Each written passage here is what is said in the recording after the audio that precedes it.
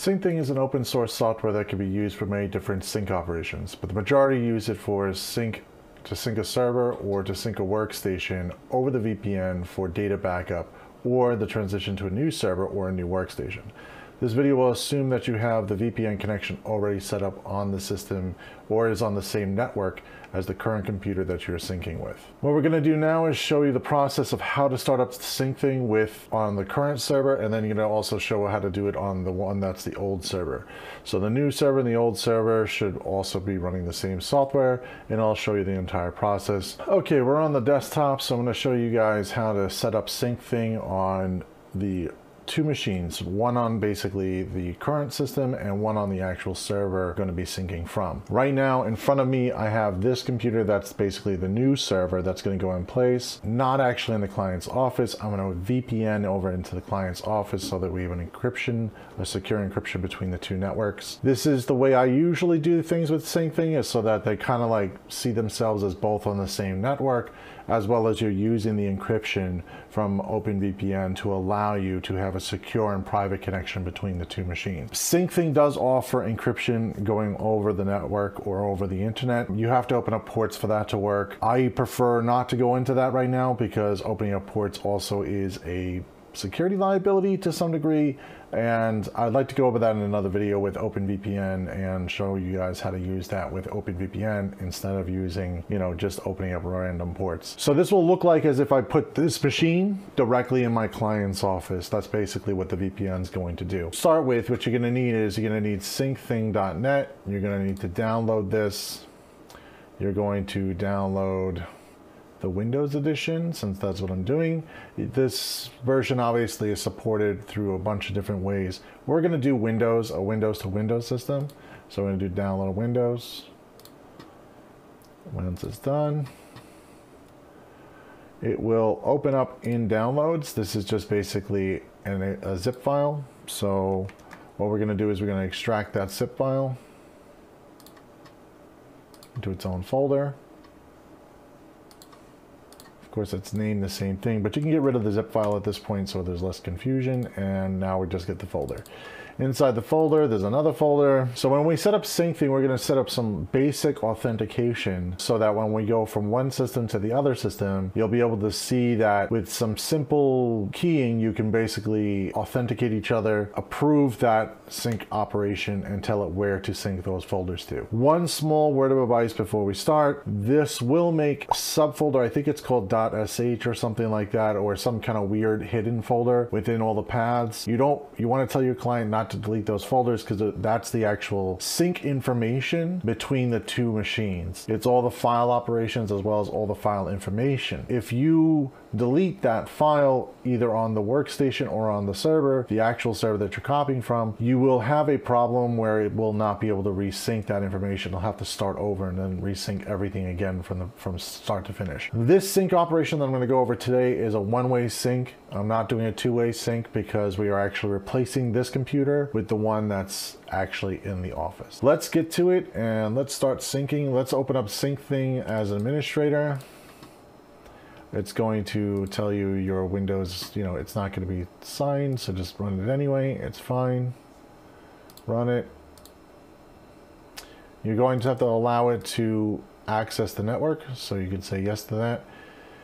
It will come up with allowing anonymous usage data. This is going to open up your browser. It's going to go right to the SyncThing URL. If you notice at the top, it's the URL of the machine, which is 127.0.0.1 colon 8384. This is okay. Just leave it. Leave it default. Let's not go crazy with this for now. The encrypted usage data report is sent daily. You, you can send the anonymous data, anonymous data if you want. I'm going to say no just so that we don't waste bandwidth at the current time. Username and password has been set for the GUI. Please consider setting it up if you want to prevent other users on this computer from accessing SyncThing through other files. You should do this. So click on settings and you want to go into GUI and you want GUI authenticated user to be whatever user you want to set up. In my case, I'm just going to put my name and we're just going to choose some sort of random password from our random password generator.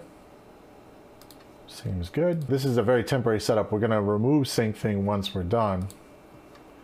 So this password's not going to mean much, but we'll block it out probably. Anyway, you could use HTTPS for GUI. If you turn this if you turn HTTPS for GUI on, it's going to probably come up with a certificate error. You'll have to continue past it if you want to use that. So let's just hit this for now. Uh, never for the password, and we're just going to log in. Obviously, write down your username and password somewhere. I'm just going to leave that for now. Since it's going to be not shared over the internet, technically speaking, it's going to be on its own little private network. I'm not too concerned about the password. If you are doing this over the internet and you're not going to be using a VPN and you're going to go direct port to port, I would recommend setting up a password that's a little more complex. Make sure that you're more than 12 characters because that's really the only thing protecting is your username and your password. And be sure to change the default username and password. Obviously, I also have a name of this device, which is not correct, which I'm going to change in two seconds. And we're also going to now go over to the other server and do the rest of the setup. I connected to the VPN. I was able to connect over to the client's VPN, so we're all on the same network now. And what I'm going to show you is that I'm remote desktop into the server, the old server. So the old server is called file server 1. The new one is called file server 2. Very simple naming. We're going to basically sync the entire network data folders as well as all of the network shares. So to start with, there's a default folder that comes up, which is just labeled default folder. We're going to remove this we're just going to edit. We're going to remove this because we don't want the defaults. This computer name is obviously wrong. So we're going to double check that. Device name, this should be file server 2 because that's what I'm on right now, 02. GUI password setup, connections. Make sure your computer names are all set up, everything's ready to go before you start working on the current server and you're going to be sending it over. So I hit save. Now it should say file server 2, which is correct. Now we're going to add a remote device, but what we're going to have to first do is we have to go over to the server. So I'm going to pop into the server. This is on the remote desktop. I'm going to delete the default folder because I don't want to sync that. I'm going to double check to make sure I'm on file server 1. It's not file server 01, it's just a weird naming. We are changing it to 02. Anyways, we're going to add a folder from here. So we're going to actually add all the client folders that we want to sync over. To start with, you want to make sure that you choose all the pads that you're going to be recording from.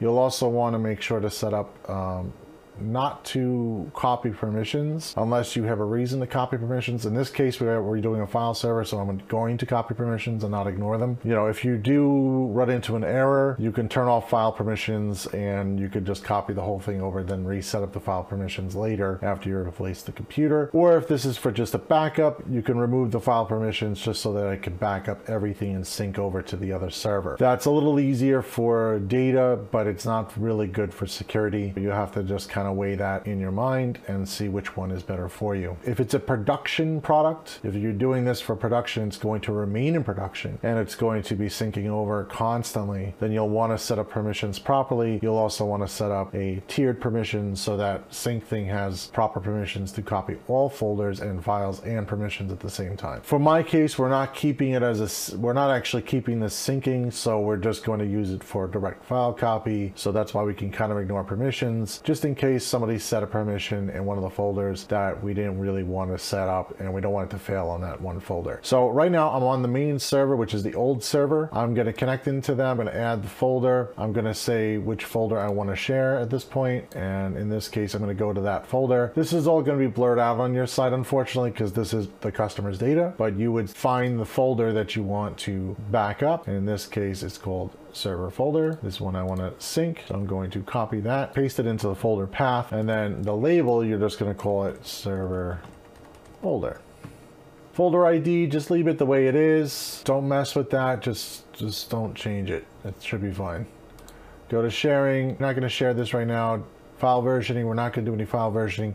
I'm just going through all the little tabs to show exactly what's going on, but most of these you can pretty much ignore. You can add ignore patterns. This is if you want to ignore certain files for syncing, you can do that. On advanced, this is really most important. We're going to send these files to the new server. So it's going to be send only.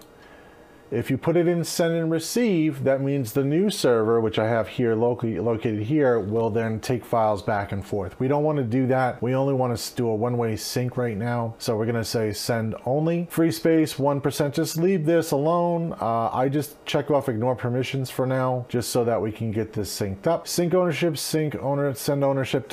These are more advanced options. You don't really need to do them. You can read through them if you really want to go through that. Watch for changes. Yes, you want to make sure that's checked off because files are changing constantly over there at the current time, even during this sync operation. This computer is not going in for another few days, so even those updated changes, we'll leave it running and leave it connected so it can actually update and process as it goes. So let's go back to general for a second just to make sure I got everything we do. So we're going to hit save to that. We're going to let that scan. It's going to scan in the background for a very long time. I'm not going to wait for that right now. What we're going to do is we're going to now add a remote device off of the other previous system. So what we're going to do is we're going to get the ID from this system. So you click on actions, then show ID. It's going to come up with this crazy thing, but that's this entire long, crazy amount of lettering numbering. You could also scan the QR code if you want to do that. I'm just going to copy it for now. So it's copied to the clipboard and I'm going to add this to this side so I'm going to add a remote device. Now I'm back on file server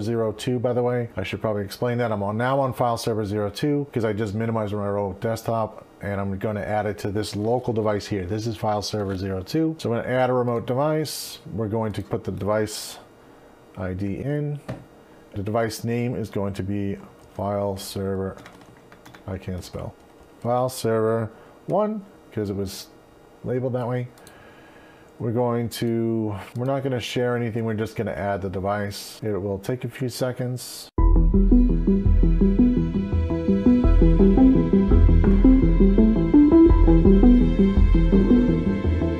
Back on file server one, you have to approve the new device. You have to say add the device. File server two. You're going to share the server folder with file server two.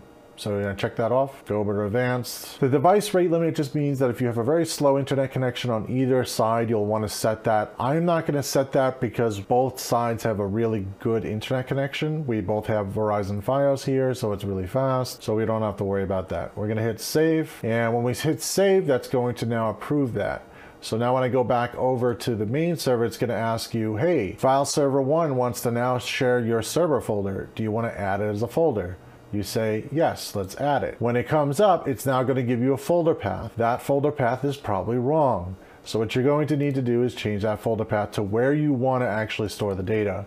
And in this case, I want to make a folder called server folder. And we're going to save it directly here.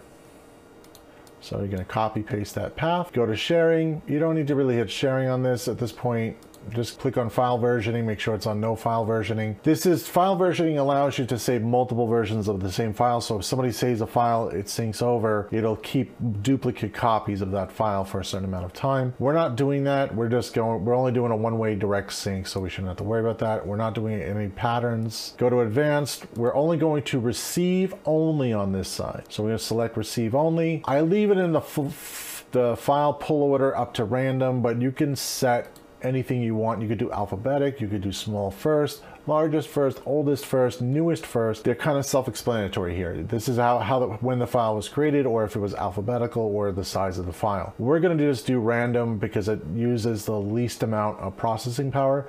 If you choose something like alphabetic, it will have to go th directly through the index in an alphabetical order. So that may take longer to process all the files. I recommend just leaving this random unless there's a reason to do certain files first. I'm going to ignore permissions right now, but technically you should set up your own permissions. Now at this point, you're ready to hit save, then you hit save, it starts to prepare to sync. You will see that it will take a very long time. Sometimes it's immediate, Sometimes it picks it up and starts syncing right away. Sometimes it takes a few minutes. Syncing has gotten better if you're directly on the same network if you're going through a firewall and you're going through not a VPN, but let's say you're going direct machine to machine through port forwarding, sometimes this takes a little longer for it to connect and figure it out. With VPN, it depends on your VPN speed. The VPNs that we set up, we set up pretty quick VPNs based off of, you know, OpenVPN, and we also use pfSense and we also directly link into it. But we also set up to make sure that we have